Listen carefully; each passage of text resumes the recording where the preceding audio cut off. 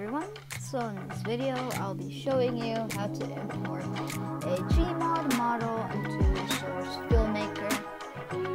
So as an example, I'll be using Ronaldo by.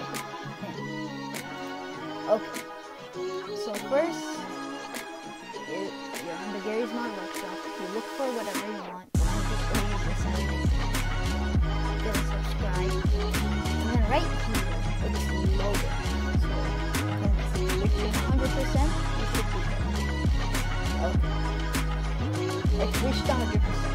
you're going to want to open PC, this PC, Acer, and then go to Program Files, Steam, Steam Apps, Workshop. You want to go to Workshop.com. Workshop content 4000. Now right up here, the ID it's 291. So this, okay, now I'm gonna replicate this, put this somewhere very far because we're gonna need to open the same folder. This PC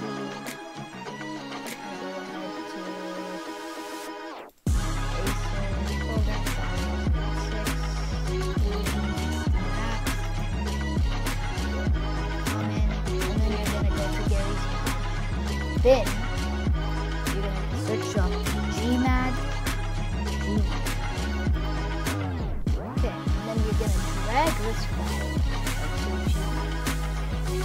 And now you duplicated the folder. So now you're gonna go to source go to game, and then you're gonna open the files, all three, put it in the user so now you put it in So now it's all put in SFM. All of it in user mod. So let's go ahead, close the folder. So now we have the Ronaldo model the uh, Okay. One second. So yeah. Very basic. And simple actually.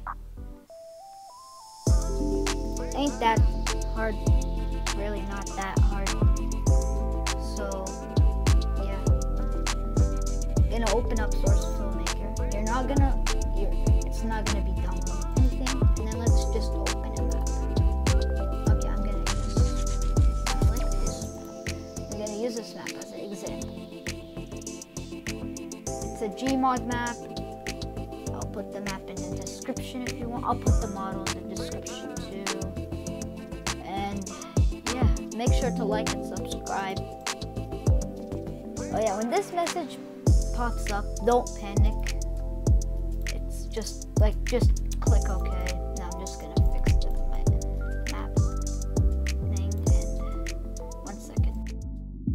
Alright, so, okay, I'm just gonna choose like the location.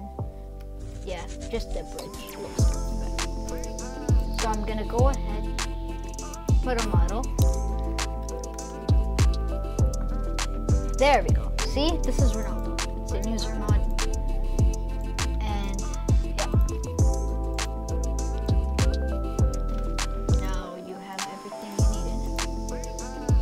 His body, his arms, everything. And this map is also a Gmod map, by the way. Let's check if he has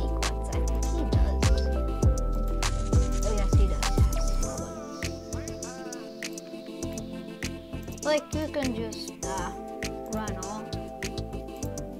Uh, maybe, yeah, this one sucks.